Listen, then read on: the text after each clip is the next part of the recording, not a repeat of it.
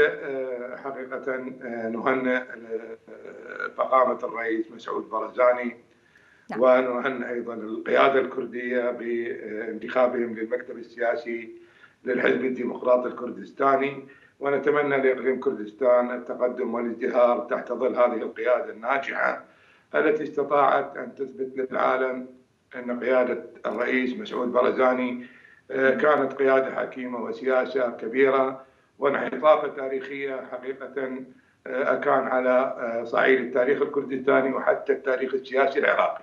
نعم. فالحقيقة يعني عندما نرى أن هنالك يعني المتغيرات التي حدثت في كردستان وحقيقة يعني اللي انعكس علينا إحنا كمهجرين حقيقة بدينا في عام 2014 وإلى اليوم